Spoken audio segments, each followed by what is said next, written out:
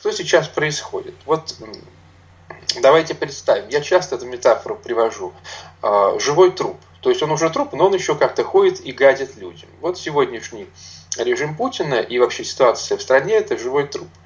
А, конечно, тяжело. Допустим, было людям в, там, в 1900-е годы вот в России. С 1900 по 917. Потом стало еще тяжелее. Почему было тяжело? Потому что все тяготились тяготились дряхлым, ненужным, никчемным, тупым, позорным режимом э, царя. Причем это была вина не только э, глупого, бездарного Николая II, это была вина тех, кто его породил, а что Александр III, э, он не проводил контрреформы, а победоносцев не воспитывал своими действиями, так сказать, Николая II. А что не было ретроградов, не было черносотенцев. Нет, все было.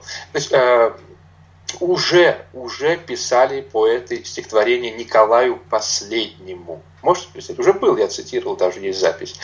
А, вся интеллигенция, мыслящая аристократия, даже братья дяди царя были уже против монархии против царя. Ну а что поделать? Это длилось, потому что были ресурсы, была инерция, инерция в истории – это страшная вещь. Когда эпоха изменилась, техника изменилась, классы даже, ну все изменилось, да? Искусство, техника, класс, все изменилось, а инерция есть.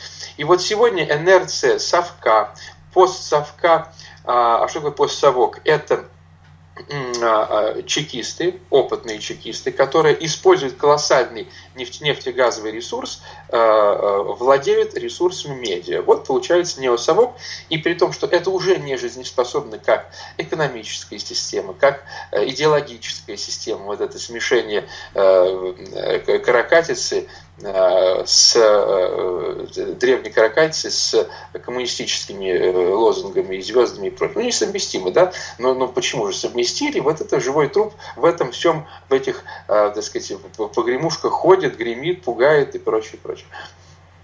Было тяжело жить. 8, ты знаешь, вот 18 век, мой любимый век, легкий, прекрасный, век Кармантеля, век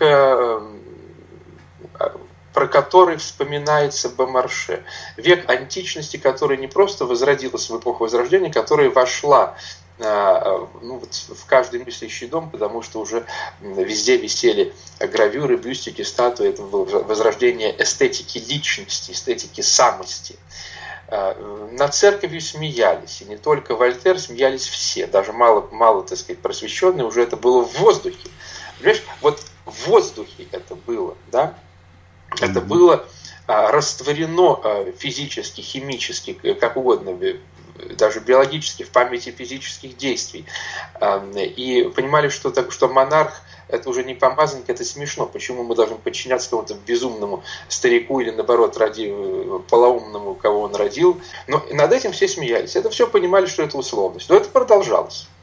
И попы ходили, и им сдавали деньги, и нельзя было попов оскорблять, да, то есть смеяться нельзя было. Хотя, ну, если смешно, да, э, смеяться право не грешно над тем, что кажется выглядит смешно.